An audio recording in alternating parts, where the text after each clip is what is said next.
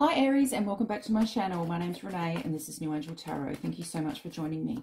Aries, this is your weekly sun sign prediction from the 28th of March 2022 and I'm going to be giving you a three card spread today with an overarching energy and clarify.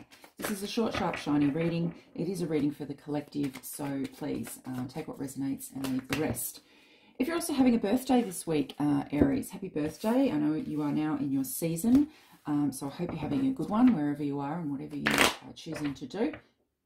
And for this week's reading as well, I'm using my uh, Fairy Tarot. haven't used this one for a while, but I'm sort of feeling a bit light, a bit whimsical, uh, a little bit mystic um, because the weather is like really beautiful. And so I feel like I can connect to this deck today. Um, what else? Let's just get started, hey? Uh, let's get let's get into it.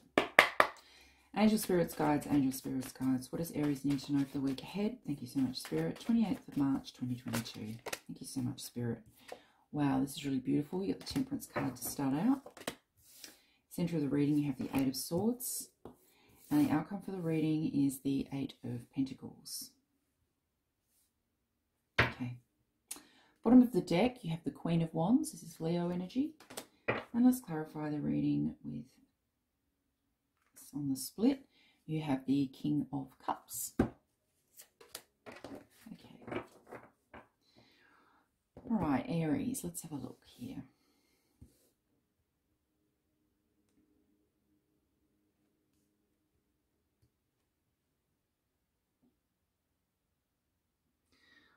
Okay, thanks for your patience. Um, all right, Aries, so you're starting out here with the Temperance card. This is a uh, card of Sagittarius, and this is about finding balance in a situation. Some of you I'm picking up here, there could be uh, some of you here as well. I'm getting a message about drinking, like somebody's um, really wanting to balance that more in their lives. They're, you know, maybe having a glass or two or three glasses of wine every week, and they, they're wanting to sort of take a step back from that feel like that's a really good move for you as well if you're wanting to sort of obviously keep a clear head with um, decisions that you need to make for the coming week.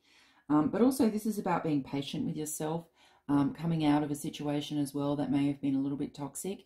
Um, temperance card is about sort of you know coming out of that you know and and rising above um, you know what you may be facing or what you may have to bear uh, coming up for you in the in the, the week ahead.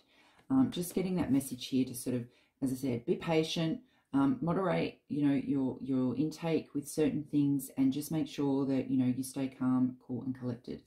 Now, the beginning, uh, during the week here, we've got the Eight of uh, Swords, so there is a lot of toxicity surrounding you, and I'm getting a message here. Most of you might be looking at this, and it could be um, in in regard to the workplace. Um, there could be people around you at work who are, you know, not supportive, just, you know, they're just not supportive of you. You know, you are doing what you do really really well and and but it's it's sort of doing your head in a little bit because I feel like you're aware of it but you're inside your head about it and you're sort of it's stagnating you it's keeping you um, sort of trapped inside of your own mind and actually not being able to move forward or feel positive when you go to the workplace which is probably why you're actually probably having a few drinks during the week just to kind of you know smooth the edges out um, which uh, you know I totally understand but look, um, you know, only you can work through this. Only you can sort of rise above it.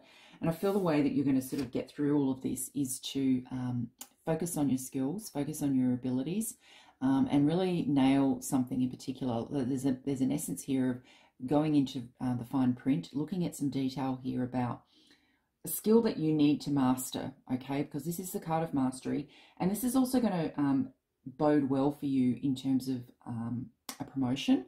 Um, and when I say there's toxicity around you as well, this can often indicate as well, like if you've got people around you and they're being, you know, bitchy, it's really only because they know that you're a leader and they know that you have leadership qualities and you're actually very good at what you do. And so it's really coming just from a place of jealousy, I think. Um, I know this is a bit random than what I'm saying, but it's just, yeah, it's just what I'm seeing. So, um, in order to sort of rise above that situation and rise above the, the negative Nancy's, um, it's a time for you here to sort of focus in on a particular skill and master that because that will then see you through uh, to a promotion and then perhaps you won't have to deal with these people anymore or you might end up becoming their boss, which, you know, karma's a bitch. The reason why I say that is because you've got your overarching energy here as the Queen of Wands. She is a leader. She is uh, somebody here who is in control. This is Leo energy as well. So I feel like this week as well, you are going to be in the spotlight. There is going to be um, an energy here for you, Aries, where, you know, the focus is on you. Um, but there's a clarifier here of the King of Cups.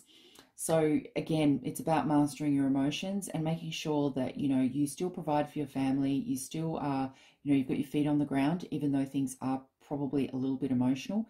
King and the Queen together can also indicate a power couple.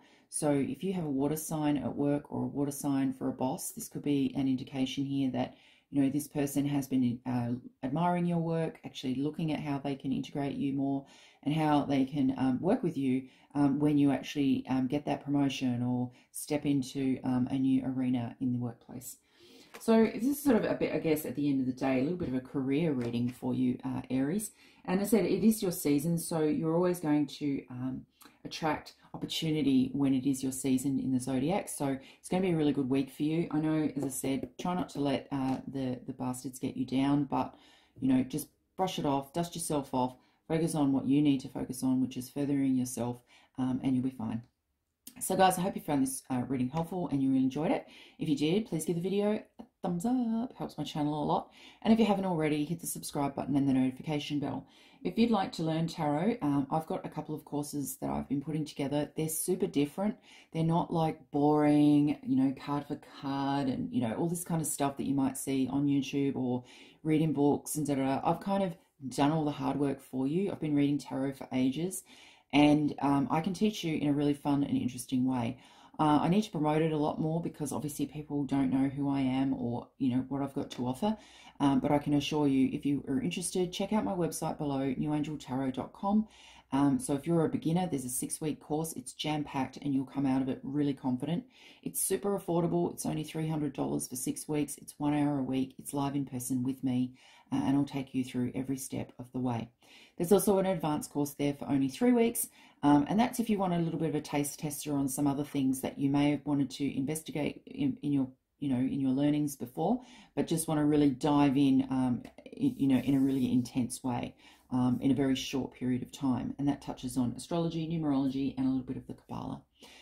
If you'd also like a personal reading, you can do that as well. You, everything's in the website below. You can book um, and what have you. Um, so just go check it out. There's a bit of things you can read about me as well. So Aries, I hope you have a great week. Thank you so much for watching and I appreciate all your likes, comments and subscribes and I will see you next week. Bye Aries.